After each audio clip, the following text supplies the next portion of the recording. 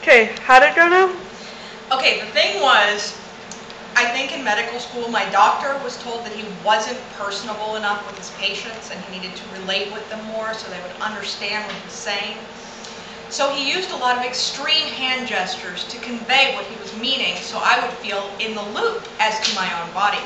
For example, do you have a history of this in your family?